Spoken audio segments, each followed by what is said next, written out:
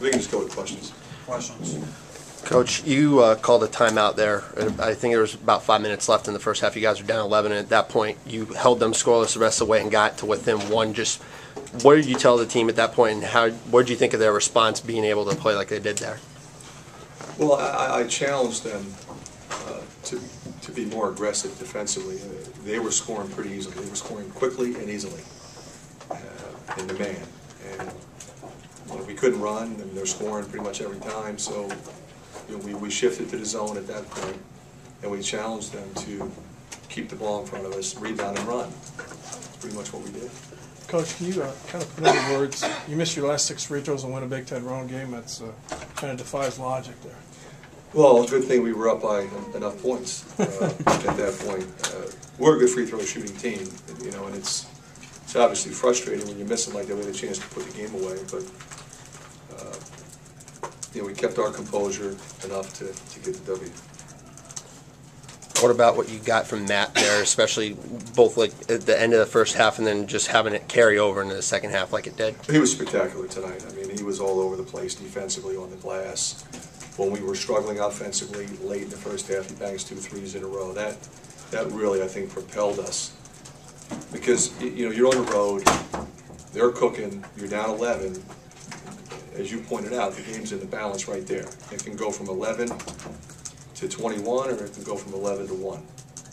Went from 11 to 1. In crunch time, there you're going with uh, some young players. Talk about your confidence in, in, in the young guys there. Well, what we've done is we've, we've sort of played, you know, ten players, maybe eleven. And as the game goes on, we'll, we'll sort of get a feel for who, who's playing well tonight. And we'll go with those guys. You know, essentially, you know, a lot of those guys are freshmen, sophomores. And, uh, you know, so they're gonna be out there. And they're used to being in that situation. They were in that situation last year as freshmen.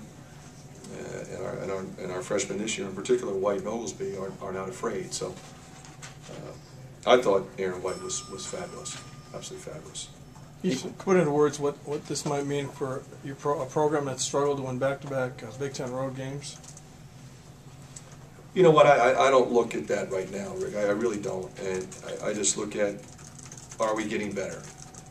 We have a big road win on Saturday, can we come in here and play with enough composure to win a game? We did that, that, that's a big step for us. Now, we've got to regroup, we've got one of the, the best three teams in the country coming in on, on Saturday, all right? Can, can we play against those guys? They present, you know, Minnesota presented different problems than, than Wisconsin, and Ohio State presents different problems than Minnesota. So, it's all part of the growth process for, for this team. Fran, one of the questions that everybody might have had was how can you handle success? Do you feel like this game kind of proves that your team's able to kind of put good games to bed and focus on what you got at hand? Well, I- I, I think, I think we did answer that, and I, and I think that's a legitimate question, Scott. Uh, You know, I had the same question myself. You know, it wasn't for lack of explaining to them exactly what you talked about. And are we gonna be mentally tough enough? Are we gonna be smart enough? Are we, gonna- you know, we, we, one of the things that we did to shorten the game, once we got up seven or eight, I don't remember what the, the biggest lead we had, you know, we used our fouls that we had to give. So even though we were missing free throws, they were running out of time. Any specific reason you went with uh, Devon instead of uh, Gabe tonight? at all? Yeah, uh, you know, I struggled with that, but uh, Archie had been spectacular recently in practice. He was sick, he didn't even make the Wisconsin trip, he had migraines. And he came back with the right mindset and had phenomenal practices back to back, so I went with him. Let's go for team lost their best player in, in Trevor Mbakwe, but they've played three pretty close games in the Big Ten. Are you surprised how they've responded without him? No, uh, not at all. I mean, they've got one of the best coaches in the history of, of, of this game. And he's got other talented players. As much as you miss Mbakwe for what he does, uh, you know, it, it's his experience as well. You, you, you take older guys out, you put younger guys in, but the only way they're going to develop is to get the kind of minutes they're getting. And I think they're responding pretty well. Uh, Welch is tough.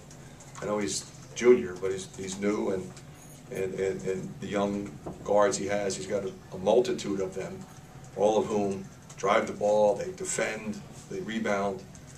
Uh, they're gonna win, they're gonna win their share of games. What do you think when Ahanmisi was driving for that last uh, potential layup? I was just hoping we didn't foul. You know, I didn't, I didn't want three there. I figured if he's made, if he's gonna make it, he's gonna make it, let's go overtime. I didn't want to lose in regulation. Okay. Thank you.